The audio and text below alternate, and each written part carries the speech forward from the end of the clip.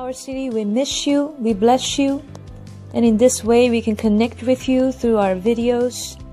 I want to focus on the verse deep calls to the deep. The Bible says in Psalms that there's a call to the deep. Have you ever noticed that people that are not good at swimming makes a lot of splash? They feel uncomfortable surrendering to the water. Rather, they want to control the water by splashing, by moving too much, even through what we see in swimming. The key in swimming is to surrender to the water. And just as a just as a good swimmer, just as a good swimmer learns to flow with the water and learns to rest and surrender to the water, and then because of the most of the moving that they do is under the water. They look so peaceful that they don't even look like they're moving. So we have to understand there's a lot of noise around us. There's a noise that wants to drown out the voice of God. There's too much information that surrounds us.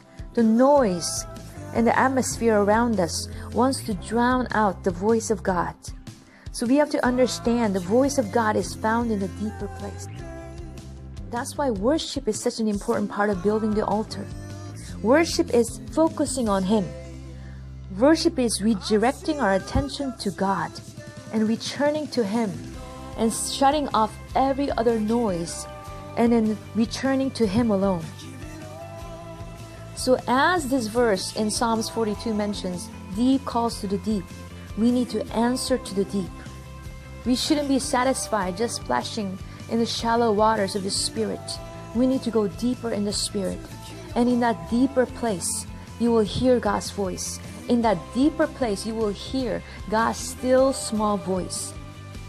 So stop making so much splash and go deeper. Go closer. Because those who make so much splash, they think they are working so hard, making so much noise, but they are not going anywhere. All the splash can be, you know, can be interpreted as panic, fear, worries, busyness of life, stress, cares of this life.